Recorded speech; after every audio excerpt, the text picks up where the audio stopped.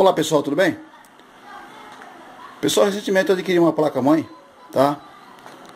É, ela é uma Asus. Eu não vou mostrar a caixa porque a, ca... a placa-mãe está em cima da caixa aqui, tá? O modelo dela, pessoal, é esse modelo aqui, vocês estão vendo logo acima aqui, tá vendo? Ela é uma M5A78L, tá? E é uma placa atualizada, tecnologia DDR3, tá? E eu adquiri essa placa em um site bastante conhecido aí, tá? E só que como eu não pude comprar tanto o processador quanto a placa-mãe ao mesmo tempo, é, vou deixar para vocês alguma dica importante, tá? É importante que você, claro, você tenha isso, seu direito como, como consumidor, você tem um prazo para reclamação, enfim, né? E posteriormente, após aí uns dois meses, ou até um pouco mais, eu adquiri esse processador aqui, tá? Ele é um AMD é, FX, tá? Black Edition, ok? E todas as informações dele constam aqui na caixa, tá? Então, eu não sou nenhum especialista em, em nessa parte de hardware, tá? Mas um pouco dá pra gente bugar isso aí, tá? Então, é um processador da AMD e é importante que você adquira uma placa atualizada, tá? Nós temos nessa placa aqui, pessoal, algumas tecnologias que as outras mais antigas não tem, tá? Eu tenho aqui seis portas SATA, ok? Eu tenho aqui dois slots PCI, tá? Para você conectar placa de, de rede, enfim, tá? Tem um slot PCI Express, que é esse slot aqui. Eu tenho aqui um dissipador no meu chipset sul, norte, ok? Tenho aqui quatro slots para o modo de memória. No caso, estou utilizando a memória DDR3. Aqui eu tenho, tá? O meu cooler com o meu dissipador. Tá? E logo abaixo eu tenho um processador que ele vem montado para você nessa caixinha aqui, tá? Ele vem o kit já. Sai até mais barato, tá? Tenho aqui também uma, duas portas USB 3.0. Tenho também aqui do lado tá? O sistema de, de alto-falante, de, de, de, microfone, enfim, tá vendo? E tenho também aqui, tá? Algumas tecnologias, como essa entrada DVI, né? A DVI, ok? E o VGA, certo?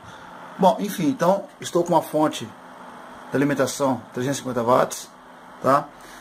E é importante, pessoal, quando você adquirir esse, esse tipo de, de, de hardware, tá? é importante que você adquira os dois juntos, por quê? Porque se houver um problema, você consegue obter a troca. Tá? No caso, eu comprei a primeira placa-mãe, posteriormente, depois eu comprei, depois de uns três meses, eu comprei o processador. E agora, o que, que eu fiz? Né? Eu testei. Né? Nós montamos todo o cuidado aqui. Tá? Eu peguei a memória do meu outro computador, e como é DDR3, coloquei, montamos aqui o cooler com a pasta térmica, tá? Coloquei a minha fonte de alimentação. Inclusive no canal, pessoal, eu tenho um vídeo explicando como você trocar, tá? Esse cooler aqui, tá? Que deu problema numa outra vez aí, eu troquei, paguei 12 reais, troquei, a fonte está com mais de seis meses, está funcionando sem problema algum. E claro, né, sem deixar de dizer para vocês aí que o uso de estabilizadores de filtro de linha é importante para a proteção do seu sistema elétrico, tá? É em relação aí aos computadores, enfim. Bom pessoal, então funcionou corretamente, tá? Está tudo ok aqui. Aqui nós não temos aqui a detecção dos, dos hardware como o drive de CD-ROM, é, o HD, enfim. Porém, a minha placa funcionou. Então agora é só comprar o restante das peças, como HD, é, um gabinete legal, tá? E montar aí a placa junto com o processador, fonte de alimentação e os outros periféricos aí para gente poder ter um computador funcionando, ok? É um computador que vai rodar jogos, tá? Desde quando eu vim adquirir uma placa de vídeo para tal finalidade.